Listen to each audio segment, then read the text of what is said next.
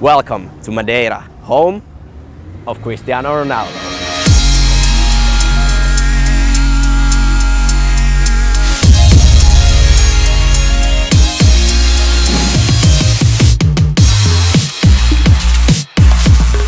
Cristiano Ronaldo is the current best player in the world, the three-time Ballon d'Or winner, the ruthless goal-scoring machine who keeps on smashing records every single season. He's the frontman of Nike and considered one of the best athletes in the world. There are so many ways to describe Ronaldo and today the Unisport World Tour has landed in Madeira to the home of CR7 where the man was born and raised and started playing football in the streets of Funchal. The international superstar has made his mark on Madeira, where the CR7 Museum and of course the brand new statue are located to show the visitors of the island who's in charge here. The museum contains lots of Ronaldo's personal awards from the Premier League, from La Liga and of course the national team. It's all there. And you can even find a life-size wax figure of the man himself. Pretty cool. Ronaldo means a lot to Madeira, not only for Madeira but all the Portuguese people. He is at this moment our main ambassador in all over the world and of course we are very proud of him and he has given so many joys for our nation so that's why he is like a national hero for all of us.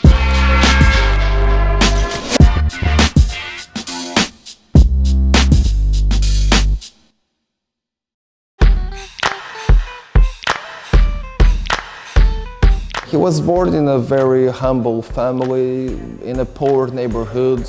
He believed always in his capacities and in his values, and he worked a lot to achieve that.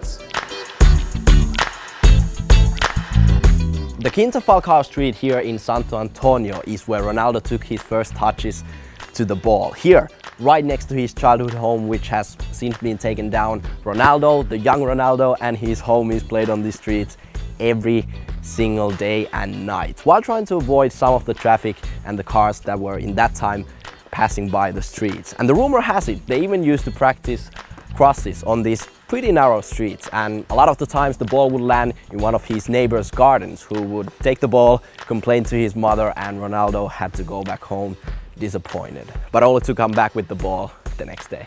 Now, after getting his first touches to the ball in Quinta Falcao, Ronaldo joined his first proper football club at the age of 8, a very small local team called Andorinha, where his father was a kit man. Ronaldo played at Andorinha for about a year before moving on to another local team, CD Nacional in 1995, which is actually where we are right now. Ronaldo was already considered the best young player in Madeira during his time here in CD Nacional. And according to his old coach, Pedro Talhinhas, the young Ronaldo already loved the game of football. He loved going forward with the ball, he loved dribbling, he loved winning games, and he loved scoring goals. But apparently, the young 10, 11 year old Ronaldo already back then hated losing. It didn't matter if he scored four goals in a game. If his team would lose, Ronaldo would end up extremely disappointed.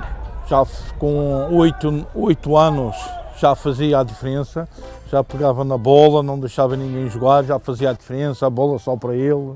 Quem lhe traça a bola tinha um problema. Sinto muito feliz por eh, ele ter vingado no futebol, que nem todos os miúdos que vão daqui para o continente conseguem ficar lá e é o melhor do mundo.